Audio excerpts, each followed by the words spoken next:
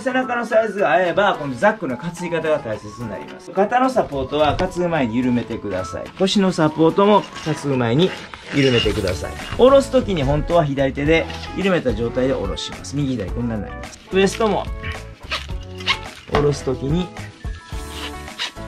緩めてほしいです。で、胸も緩めます。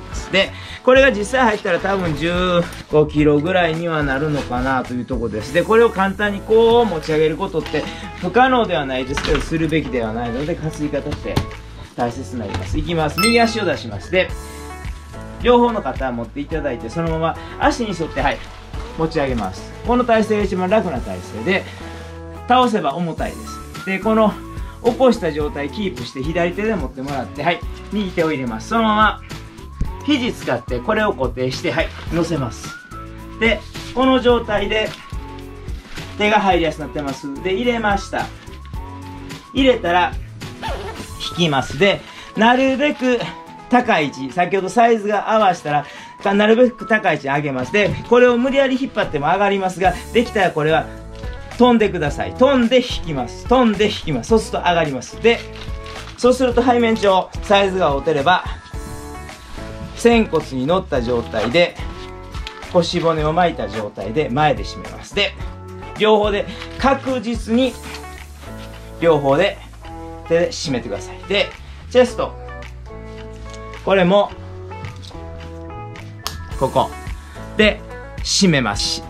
きつく締めすぎたらしんどいし、緩めすぎたら苦しいです。ちょうど引っかかったかなぐらいで調整します。荷物が後ろへ逃げるのをサポーターで寄せます。腰は完全に締め込んで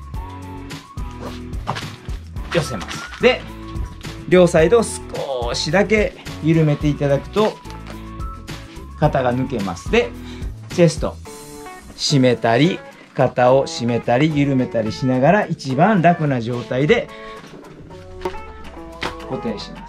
で、必ずこの状態で、はい、右足軸、左足軸、右足軸、左足軸、右足軸で歩けば楽に歩けます。で、下ろすときは、緩めた、左手で緩めた状態で親指と中指で弾きます。お腹少し膨らましてもって横へ引っ張れば緩みます。で、これも同じです。左手の親指と中指で弾きます。で、前倒れといていただいて、親指後ろ、はい。中指、はい。かけてもらったら、はい。スーって緩みます。で、緩めたら、で手を中から抜いて肩へ持っていってもらう。で、この状態から横スライドしてもらって乗せます。で、左手でキープして右手を抜いて両方の肩を持っていただいて、はい、膝を伸ばしていって落としていってもらえれば滑り台で落ちます。そうすると15キロの荷物が軽く運べる、担げるということになります。前回紹介したザックのサイズフィッティング。今回のザックの担ぎ方。登山を繰り返し練習することで身につくものです。そこでアドスポーツでは毎週土日に近郊の山で実際に頑固さんが指導するおはようハイキングというイベントをやってます。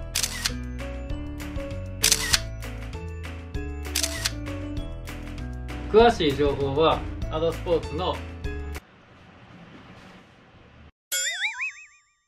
詳しい情報は Facebook に載せてありますので、ハドスポーツで検索してみてください。